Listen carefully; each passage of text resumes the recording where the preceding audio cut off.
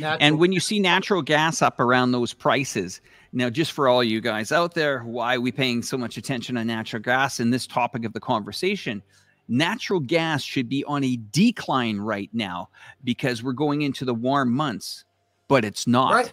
And uh, it's continuing to stay at high prices. Now that 850. is gonna, yeah, and that's gonna come out on your electricity bills, and that's gonna come out on your spending power if you're spending on electricity, oil, and gas, and gasoline and refined products just to keep your general life going, these things are going to start hitting the bottom lines of Target, Amazon, Starbucks, McDonald's, all these major oh, players. Oh, and and the point of that was is that everyone was saying, okay, get out of growth stocks. This was the, this is the mantra. When you have inflation and rising interest rates, the first ones to, to get hurt is the tech and growth industry because they don't have any profits and they have outrageously high multiple uh, PE revenues and and and price to sales ratios and price to earnings ratios. So they're the first ones to crumble, to fall. So you you uh, do your uh, asset allocation out of growth and tech and into value and retail and mm-hmm. inflation protected. And that's Walmart and Target and Coca Cola. And then what happened two weeks ago, Alex? Walmart and Target, they both tumbled like 30% yep. on their earnings reports. So we really now, have disaster in the making here. Here's the other issue that's on top of that. Imagine if the full global economy was running on all cylinders Okay. Imagine if China's open fully. Uh, Japan just started to open up. Some of these Southeast Asian countries are starting to generate more. Those prices would be even higher if the usage was coming in. And uh, a lot of these economies were running at full tilt. We are at breaking point here. And my concern is, is when you are running at an all-time high on natural gas, which has predicted three stock market crashes 208, 214, and 220 to the dot to the needle that has uh, hit. Definitely. And natural gas is something that we kind of ignore. Most people ignore, but not me. and, and I'm seeing some other things that are, are starting to get quite worrying as well.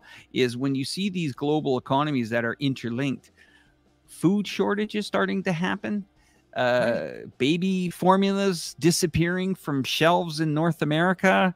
Um, boy, oh boy, this sounds like uh, trouble is on the horizons. And my concern is the the following: everyone says there's lots of money out there. Um, there's a lot of people that are really in trouble at the moment. That's for sure.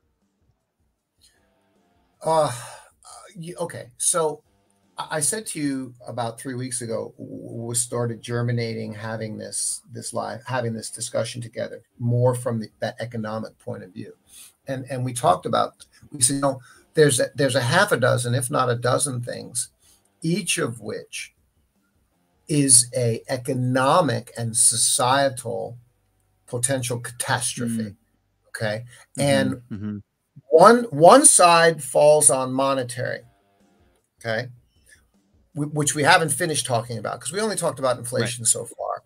Um, right, right. And the, and the other side is products. So imagine mm-hmm. that have all happening at the same time. We're consumers on planet Earth, and all at the same time, we've got triggered global shortages of oil. Forget the reasons. Mm-hmm. Oh, they're cutting yep. off Russia because of the Ukraine. Doesn't matter why. You're cutting off the oil. You're cutting off the oil. I don't care what your reasons are. It means you can't get any oil. You know, as far as Europe is concerned, mm-hmm. that's a disaster for the consumer. So you're talking about oil. Uh, um, I've got the list. Oil, which you have to separate out from oil for consumers and diesel because that's supply, trucking, and logistics, the, and and even ships. Right, diesel. Mm-hmm and then, as you've already said, natural gas. So these are fundamental to driving the world economy. Okay. Which is why economic people don't like the greenies. The greenies are nice people. I like them too. I'm all pro reduce pollution.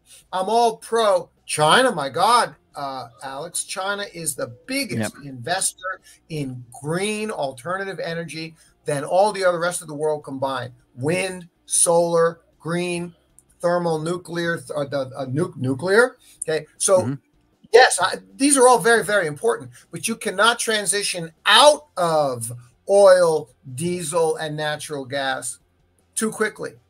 You're going to cause massive disruptions in the world economy, and that's what's happening. So now we got, and it relates somehow. Do you know how it relates to fertilizer? Because it does. It mm-hmm. relates to fertilizer, which is a disaster because that leads to food shortages.